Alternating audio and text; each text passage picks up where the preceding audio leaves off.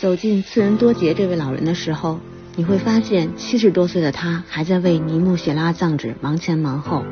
西藏有三种传统藏纸，尼木县雪拉藏纸就是其中之一，距今已经有一千多年的历史。次仁多杰从十四岁就开始跟着父亲做藏纸，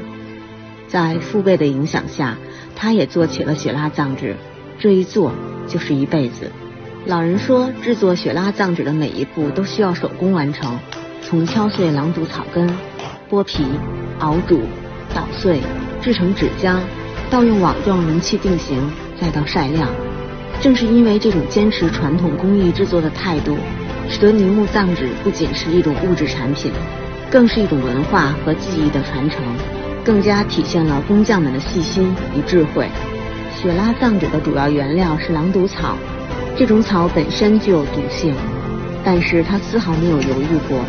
在他的引导下，两个儿子也传承了次仁多杰的技艺，不断学习并创新着。走进他的家里，我们惊喜地发现，原来他的父辈就已经把雪拉藏纸的名声带到了国外，很多国外商人慕名而来，只为这独特的雪拉藏纸。一串串英文字里行间都在描述着对雪拉藏纸的喜爱。更加赞扬了次仁多杰父辈的精湛技艺，让这项手工艺永久流传是次仁多杰老人的愿望。传承与保护非物质文化遗产是传承人的职责和使命。坚持一颗不被岁月尘封的匠心，这就是我们的工匠精神。如今，他的孙女儿也在跟着他学习，他会亲自教导，只为雪拉藏纸的薪火相传。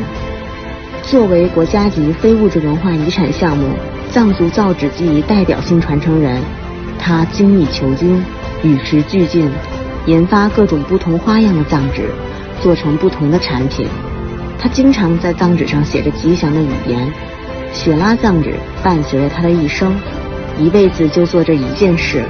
他很满足。尼木藏纸记录着西藏的历史，见证了文明的进程。它的传承不仅仅是记忆的延续，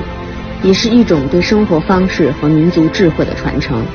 是对藏族文化记忆和历史传统的维护，更是对民族文化的认同和历史的见证。把尼木雪拉藏纸发扬光大，次仁多杰老人家的世代传承一直都在努力着。